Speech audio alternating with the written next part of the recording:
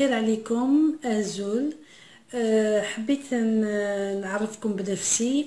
أنا أول مرة ندير live أه درت live هذا على جال آه، الفيديو اللي راه في, في الفيسبوك. وبالمناسبة حبيت نهضر لكم بالدارجه باش كل إنسان يفهمني كل إنسان يعرفني وكل إنسان يفهم واش راني نقول.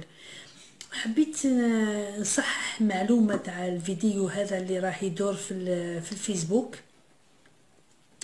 إنسان اللي راه يقول باللي أنا وليد علي لابوينت وهذه يما أنا نقول له هذا السيد هذا رانا نتبعوه قضائيا علاش راه يقول هو ويماه وثانيا نقول للشعب الجزائري باللي هذا الإنسان عمره آه، نقول للشعب الجزائري باللي آه، علي لابوينت عمره ما تزوج عمره ما كانت عنده مرأة وعمره ما كان عنده ذراري وثاني آه علي راهم يقولوا باللي آه، علي علي لابوينت زايد وخلوطه ما فهمت فيها والو. donc آه علي لابوينت زايد في 14 مايو 1930 وتوفي في 8 أكتوبر 1957 هذا هو التاريخ نتاعو. والنهار اللي مات علي لابوينت الوالد تاعي كان حاضر. في, الموت هو اللي هو اللي شافوا كيفاه مات وشافوا واش صرالو وزايد آه، الوالدة تاع تاع الوالد تاعي كانت آه، كانت تحكي هي وعلي لابوينت المدعو علي عمار آه علي عمار علي لابوينت كانت تحكي هي وياه واحد المرة تقجمها على حسب الوالد ما حكالي قال لك كانت تقول له آه وين نزوجك كان يقول لها يما ما تز- ما نتزوج حتى وين آه الجزائر تستقل. حتى وين ندو الاستقلال و... وقالها ما نقدرش نخلي ولادي والمرأة تاعي وبالك نموت ونخليهم وحدهم. كان عارف روحو c'est pour ça ما بغاش يتزوج.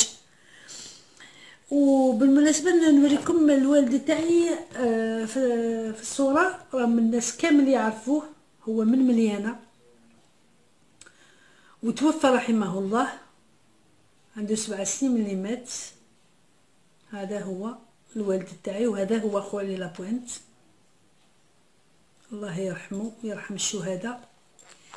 حبيت برك نقول باللي علي لابوينت وقالوا ثاني باللي مات في 1989 و je sais pas بالك قريتها هك آه هو اولا نهار اللي مات آه، علي لابوينت ال- ال- الأب تاعي آه، كان حاضر. و- وثاني الناس اللي دفنوه. وزاد مدة من بعد ال بعد مدة من اللي مات علي لابوينت يماه ما موراه بزاف وماتت. ثاني آه آه، الوالد تاعي هو اللي يدفن يماه دفنها مع علي لابوينت في قبر واحد في العالية. donc بغيت برك نصحح هذه المعلومة. وحدة العائلة تاع علي لابوينت راهي معروفة من مليانة. وعندي أنا آه، خالتي عندي أختي اللي راهي ساكنة في مليانة عمار فاطمة. عندي خويا عمار عبد الرزاق عندي خويا عمار سيد أحمد وعندي خويا عمار علي وعندي خويا عمار خالد. عندي خالتي ستة وحنا زوج بنات. والناس راهي كاع تعرفهم في في مليانة. والأب تاعي نعقل أنا كانت عندي 15 سنة نعقل آه، 15 سنة كي كي حب يجبد واحد ال- الميتخايات تاع علي في في دار قديمة كنا نسكنوا فيها بكري.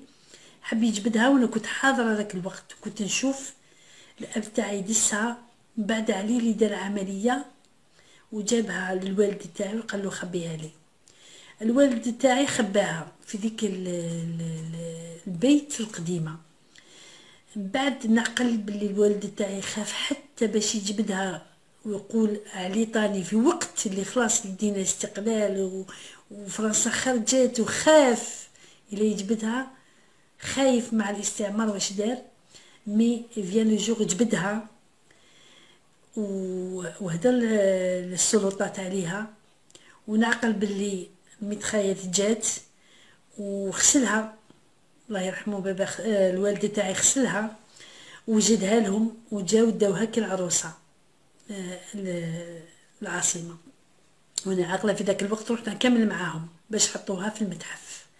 واللي يروح يشوف في المتحف في مقام الشهيد راه يسيب هذه المتخيات اللي داوها من مليانة وداوها من عند بابا. وبديغ داوها من عنده بصح. من بعد كي قالوا له السلطات قالت له ولي لينا. عنده شي حاجة يديروا معاهم؟ ما على باليش كان هو معاهم. بعد غلقوا عليه الباب. ولاو ما يستقبلوش. داو المدخيات داو السلاح ومن بعد ولاو ما يستقبلوش. هذا واش بغيت نقول لكم باللي الحكاية اللي حكاوها في الفيديو راهي ما تصلحش ما كاش منها. راهم كذابين والعصابة هي اللي راهي دير في هذا الشيء كاع. وبالمناسبة نحيي الأستاذ زيطوط اللي راه يفيدنا بمعلومات وراني نشوفه كل يوم. ويفيدنا بمعلومات آه على العصابه الله العصابه ما دير والو مادام الشعب الجزائري. طالب الاستقلال. وإن شاء الله وما نحبش نطول معاكم وهذه اللي بغيت نقولها لكم. يعني عائلته راهي موجودة وإن شاء الله نديروا آه، على هذا العائلة اللي راهي تنصب. إن شاء الله نفوتوها. إن أعجبك الفيديو لا تنسى الإعجاب والاشتراك في القناة.